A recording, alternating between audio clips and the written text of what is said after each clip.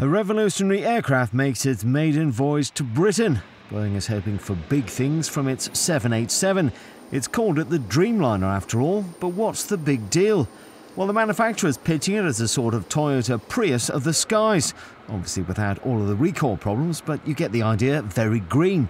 Boeing says it's a fifth more fuel efficient than its rivals.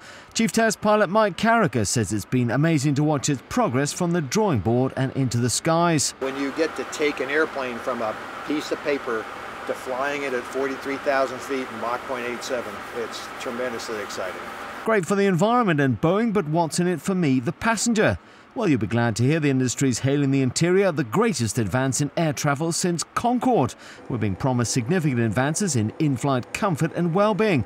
Boeing Commercial's Vice President of Marketing, Randy Tinseth, says we'll notice the difference. This is a new experience for passengers. It will look different on the inside of the 787, and I guarantee you at, a, at the end of a long flight, you'll feel better. An LED lighting system which recreates the sunrise and sunset of our destination, easing us into time zone changes. High humidity levels to cut down on dryness and dehydration. And then there are the windows, three times bigger than the average, allowing everybody a view of the horizon with a dimmer to let you decide how much light you let in. More oxygen to cut out dizziness and headaches, and the cleanest air in the air. Wider aisles and seats than any other aircraft so you can move around more freely we're also being promised a quieter ride and a smoother one. Boeing claims its system senses out turbulence in advance and irons out the bumps, reducing motion sickness by up to eight times.